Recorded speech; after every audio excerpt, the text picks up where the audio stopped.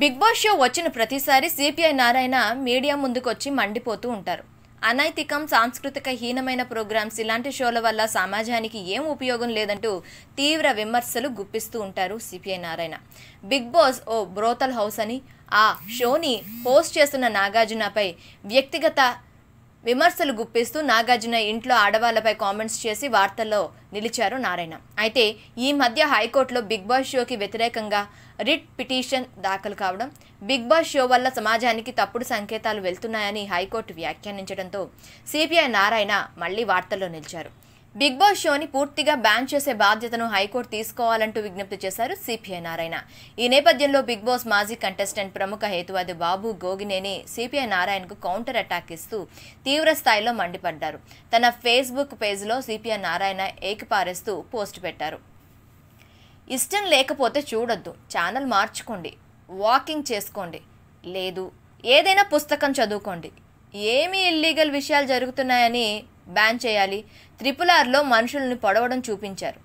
కళ్ళలో నుండి రక్తం కారడం చూపించారు. హింస అంటే అది. బిగ్ బాస్లో అటువంటి సన్నివేశాలు ఉన్నాయా కనీసం బాహాబాహి కొట్టుకోవడం అన్న రక్తం కారిందా? హింస అంటే ఏంటి? హింస చూపిస్తున్నారు అంటే అర్థం ఏంటి మీరు ఏం చూశారు? బూతులు వాడుతుంటే ఎడిట్ చేయమని కోరవచ్చు. అయినా మీకు తెలియని బూతులు ఏమి మాట్లాడుతున్నారు అక్కడ రాజకీయ నాయకులకు పబ్లిక్లో వాడడం రాని భాష నా అది. అడల్ట్ కంటెంట్ అంటున్నారు. అంటే అర్థం ఏంటి తెలుగు బిగ్ బాస్లో మీకు ఏం కనిపించింది? ఎవరైనా వ్యవస్థగా ఉన్నారా? శృంగారం చూపించారు అంటున్నారా? ఎప్పుడు? ఇరవై నాలుగు గంటల షో పెట్టామన్నారు. ఏం చూద్దామన్నా వింత కోరికతో అడిగారు. ఇప్పుడు నిద్ర మానేసి ఇరవై నాలుగు గంటలు చూస్తున్నారా? ఎందుకో మరి.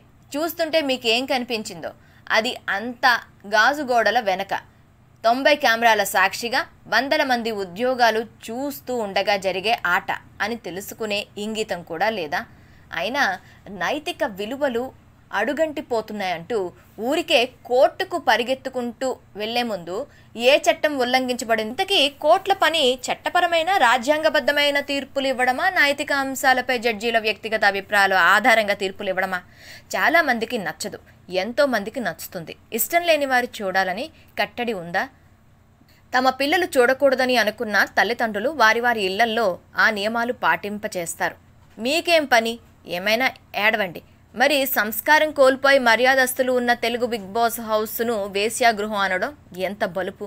అంటే ఇప్పటి వరకు ఆ షోలో ప్రవేశించిన థర్టీ ప్లస్ మంది ఆడవారిని ఏమంటున్నాడు ఈ రాజకీయ నిరుద్యోగి? వారు వేశ్యలైతే అక్కడున్న మగవారు విటుల కబడ్దార్ అంటూ సిపిఐ నారాయణపై మండిపడ్డారు బాబు గోగినేని.